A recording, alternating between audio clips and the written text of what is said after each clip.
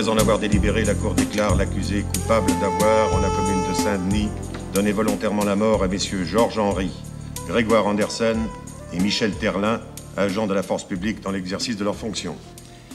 En conséquence, la Cour condamne l'accusé en application de l'article 304 du Code pénal à la réclusion criminelle à perpétuité.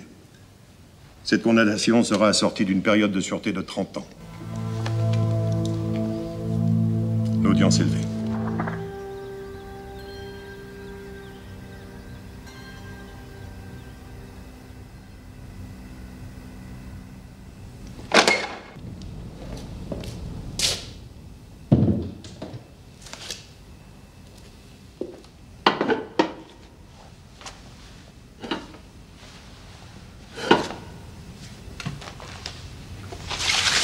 Comment vous vous appelez Nikita C'est joli comme prénom.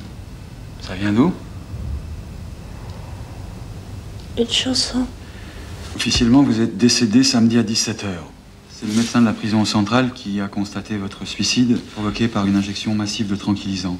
Vous êtes en terre au cimetière de Maison Alfort, allée 8, numéro 30. Je travaille, disons, pour le gouvernement. Et il a décidé de vous donner une nouvelle chance, le gouvernement. Si je veux pas rendre service. Allée 8, numéro 30. Voilà les armes qu'on utilise généralement en service. On va commencer par le plus simple. Beretta 93R, 9 mm parabellum, 20 pruneaux maximum. Le canon toujours vers la cible.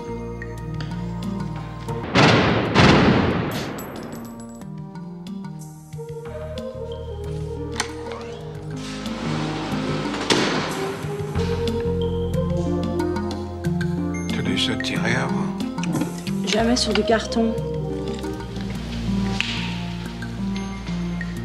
Je peux pas, j'ai mal à la jambe. C'est pas grave. On va faire un exercice de réflexe.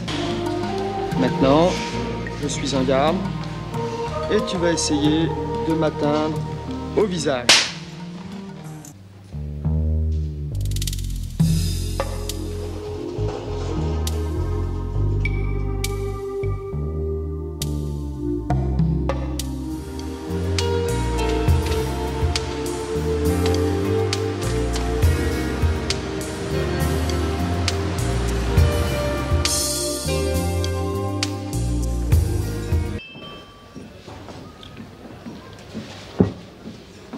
Maintenant.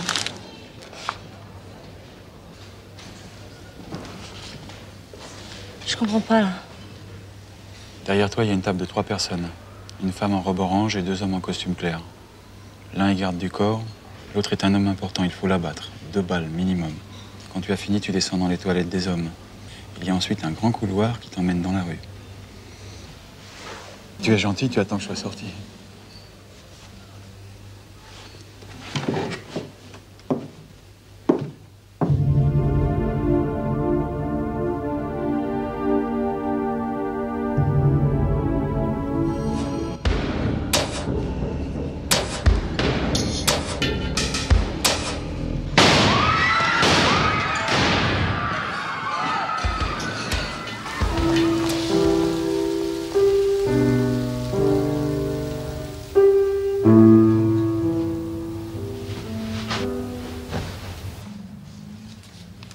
Restez debout.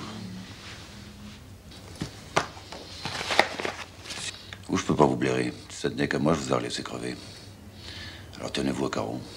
Il n'y aura pas de préavis, c'est clair.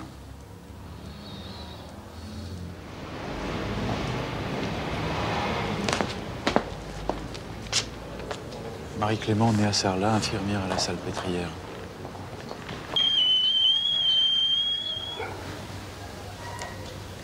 On s'entend bien. hein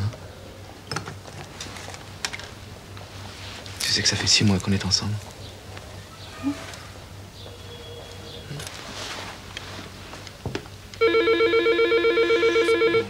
Dis-lui que je le hais.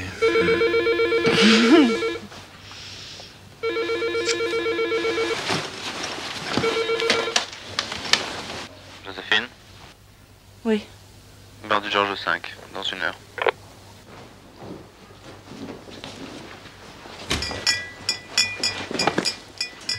C'était qui L'hôpital. Je suis de garde. Bob. Hein Oncle Bob. Et je vous débarrasse, ça vous embarrasse. Oh non, folie, non, vraiment. Enfin, pour les fleurs, le champagne, vous avez bien fait. Vous savez que vous êtes le premier de la famille qu'elle me présente. Les autres en valent pas la peine. Elle vous a dit en quoi consistait mon travail Euh, non. Non, vous voyez, j'ai pas le droit de poser une seule question. Je travaille dans une agence de voyage. J'en suis l'un des principaux actionnaires. Deux billets. Pour Venise.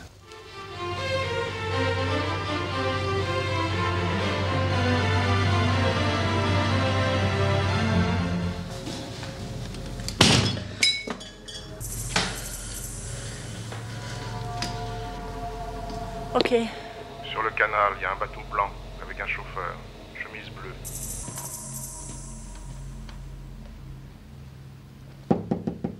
Marie Oui. Je peux te parler Oui, mais reste derrière la porte.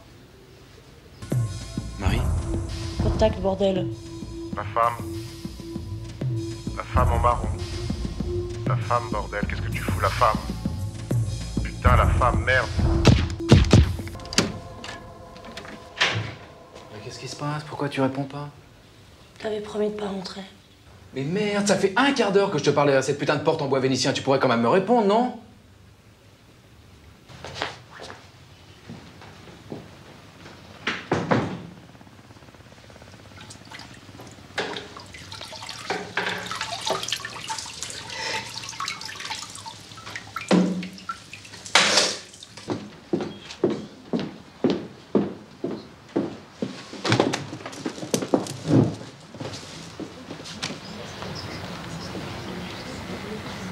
Veux savoir si j'ai passé de bonnes vacances, c'est ça Je commence à te connaître, toi et ton penchant pour les petits jeux sadiques. T'es un malade, Bob. Faut que tu le saches. Tu te sers de ton métier pour évacuer toute ta merde. Je suis assez nostalgique de l'époque où je travaillais tous les jours pour moi tout seul. C'est un ambassadeur. Dans cinq mois, il rentre dans son pays. Il faut le coincer avant qu'il parte. Le chef veut quelque chose de propre et tout en douceur. J'ai pensé à toi. Faut toujours que tu fasses deux choses à la fois. C'est ma façon d'aimer.